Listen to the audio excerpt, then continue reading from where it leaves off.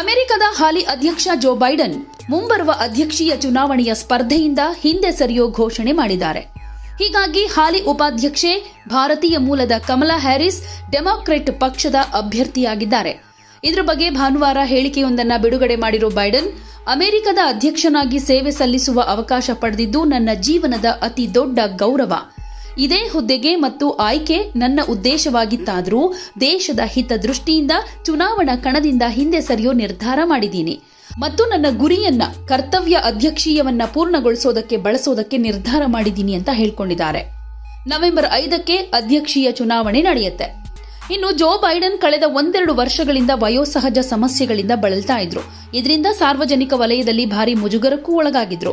ಅಕ್ಕಪಕ್ಕದಲ್ಲಿದ್ದವರು ಮತ್ತು ಎದುರಿಗಿದ್ದವರನ್ನು ಕೂಡ ಸರಿಯಾಗಿ ಗುರುತಿಸಲಾಗದ ಸ್ಥಿತಿಗೆ ತಲುಪಿದ್ದಾರೆ. ಅದರಲ್ಲೂ ಇತ್ತೀಚೆಗೆ ರಿಪಬ್ಲಿಕನ್ ಪಕ್ಷದ ಟ್ರಂಪ್ ಜೊತೆಗೆ ನಡೆದ ಟಿವಿ ಚರ್ಚೆ ವೇಳೆ ಬೈಡನ್ ವರ್ತನೆ, ನಡವಳಿಕೆ ಭಾರಿ ಟೀಕೆಗೆ ಕಾರಣವಾಗಿತ್ತು. ಜೊತೆಗೆ ಬೈಡನ್ ಸ್ಪರ್ಧಾ ಕಣದಿಂದ ಹಿಂದಕ್ಕೆ ಸರಿಬೇಕು ಅನ್ನೋ ದೊಡ್ಡ ಒತ್ತಾಯ ಕೂಡ ಕೇಳ್ಬಂದಿತ್ತು.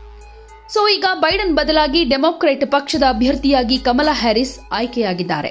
ಈ ಮೂಲಕ ಅಧ್ಯಕ್ಷ ಹುದ್ದೆಗೆ ಸ್ಪರ್ಧಿಸಿದ ಎರಡನೇ ಮಹಿಳೆ ಅನ್ನಿಸ್ಕೊಳ್ತಾರೆ.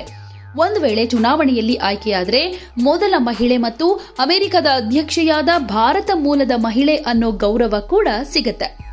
ಕಮಲಾ ಹ್ಯಾರಿಸ್ ಅವರನ್ನ ಸೋಲ್ಸೋದು ಬಹಳ ಸುಲಭ.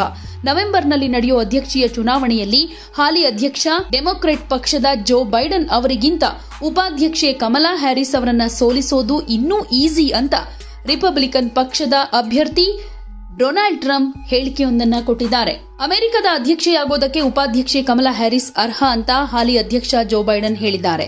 ತಮ್ಮ ಬದಲು ಕಮಲಾ ಅಭ್ಯರ್ಥಿ ಆಗಬೇಕು ಅನ್ನೋ ಬೇಡಿಕೆಯ ಬೆನ್ನಲ್ಲೇ ಅವರ ಈ ಹೇಳಿಕೆ ಬಂದಿದೆ. ಎಲ್ಲಾ ಪರಿಸ್ಥಿತಿಗಳನ್ನ ನಿಭಾಯಿಸಿ ದೇಶವನ್ನ ಮುನ್ನಡೆಸೋದಕ್ಕೆ ಆಕೆ ಅರ್ಹಳು ಅನ್ನೋದನ್ನ ಗೊತ್ತು ಮಾಡಿಕೊಂಡೆ ಕಮಲಾ ಹ್ಯಾರಿಸ್ ಅವರನ್ನ ಉಪಾಧ್ಯಕ್ಷೆಯನ್ನಾಗಿ ಆರಿಸಿಕೊಂಡಿದ್ದೆ ಅಂತ ಜೋ ಬೈಡನ್ ಒಂದು ಹೇಳಿಕೆಯನ್ನ ಕೂಡ ಕೊಟ್ಟಿದ್ರು. ಸೊ, ನವೆಂಬರ್ಗೆ ಅಮೆರಿಕದ ಅಧ್ಯಕ್ಷೀಯ ಚುನಾವಣೆ ನಡೆಯುತ್ತೆ. ಒಂದ್ ವೇಳೆ ಕಮಲಾ ಹ್ಯಾರಿಸ್ ಈ ಚುನಾವಣೆಯಲ್ಲಿ ಗೆದ್ರೆ ಭಾರತ ಮೂಲದ ಮಹಿಳೆಯೊಬ್ಬರು ಅಮೆರಿಕದ ಅಧ್ಯಕ್ಷೆಯಾಗ್ತಾರೆ ಅನ್ನೋದು ಭಾರತಕ್ಕೆ ಒಂದು ರೀತಿ ಹೆಮ್ಮೆಯ ವಿಚಾರ ಅಲ್ವಾ?